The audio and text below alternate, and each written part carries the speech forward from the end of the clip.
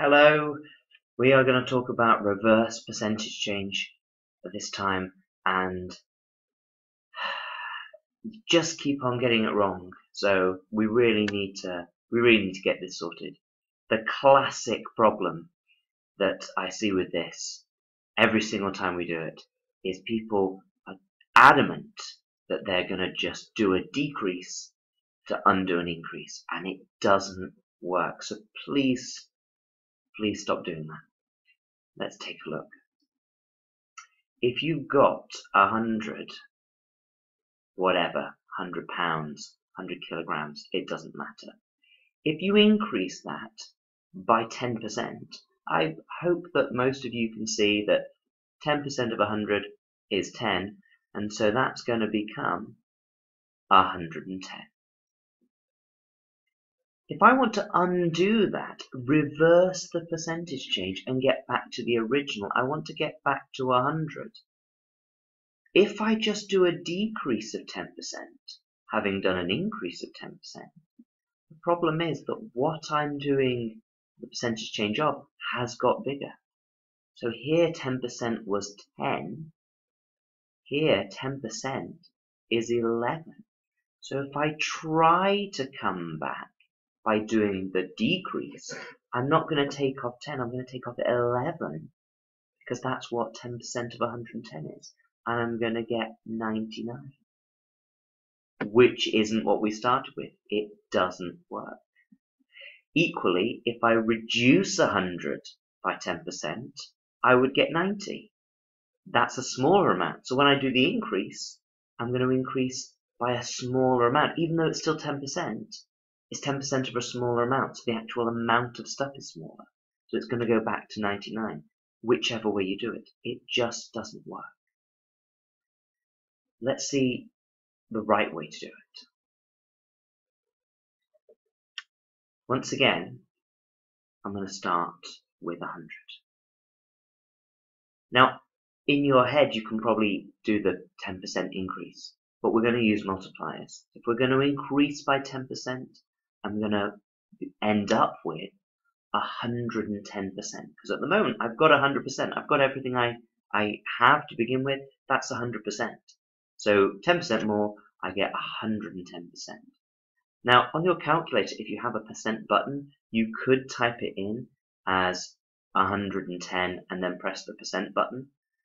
And all the percent button does is divide by 100. So really what we should do is um, times by 1.1 because that's what 110% is as a decimal, 1.1. If you really want to, you could put the O in so it looks like 10%. Uh, 110 it's entirely up to you. And this would give us the answer we had before, 110. Okay, so, so far, I think you're still with me. We've just done the normal increase. To undo this increase, I need to do the opposite. What did I do? I times by 1.1. So I need to divide by 1.1. I have to do my 110, the, what I now have, divide it by the percentage change that happened that I'm undoing, which is an increase of 10%. And if I do that division, I get back to the original. The trick is to divide by the forward percentage change. So whatever you would have done to do the percentage change and end up with what you've now got, we divide by that to get back to the original. Let's look at some questions. So we've got, first of all, a 20% sale. And in the sale, the coat is costing £42. How much did it cost originally? I'm going to set it up as an equation like we just had. So I'm going to uh, use X for the original price. I don't know what that is. That's what I'm trying to find out. If I knew that though, if that's what I had, if this was a normal percentage change question, and I was going to do 20% off, how would I achieve that? Well, if I'm losing 20%, I'm going to be left with 80%. And you always multiply by the percentage you're left with. So I'm going to times by 0.8. And that does 80%. It tells me 80%, which is 20% off. And that equals, well, I know what it equals because it's told me that after doing 20% off, I've got 42 pounds. Now I rearrange this. I do the opposite of timesing by 0.8. I divide by 0.8. So x equals 42 divided by 0.8. And then I just reach for my calculator and we work it out. 42 divided by 0.8. The coat originally cost 52.5. Now, that's the original. If you're not sure, if you don't believe me, let's use that answer and do 20% off and see if we get 42. I'll leave you to do that.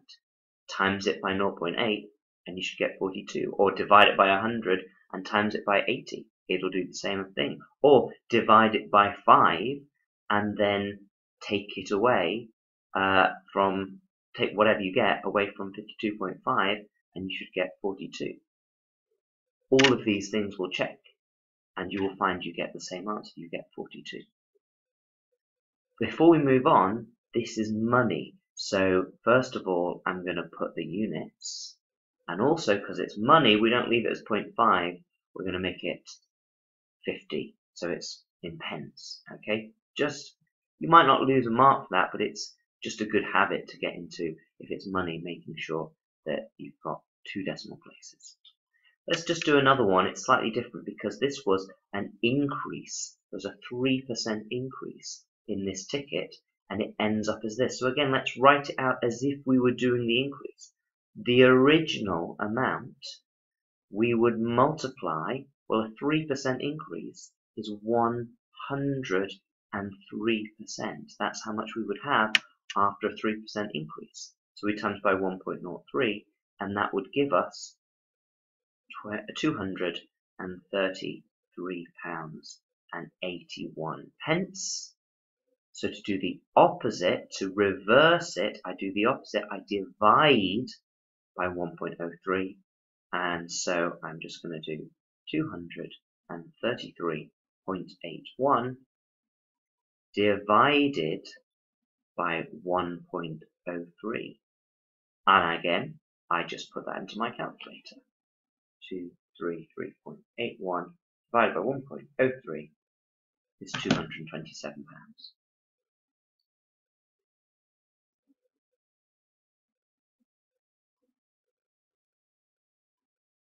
And that's it. That's all you have to do.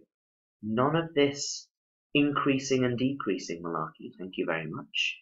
If you are undoing an increase, then undo it. Do the opposite. Divide by what happened to get that increase in the first place. If you're undoing a decrease, divide by how you did that decrease in the first place. Don't do an increase to counteract a decrease. Just don't do it. Don't do it. Here are three questions for you to have a go at. I made the last one particularly difficult because there's an increase and then a decrease. And you've got to undo both. It doesn't actually matter which way around you do it because timesing and dividing, as long as you divide the right one and you times the right one, it doesn't matter which order you do them. So it's not as bad as it actually looks. You've got to do both of them. You've got to undo in the right way. So I'll leave you with those uh, and I'll make another video with the answers. Try for now.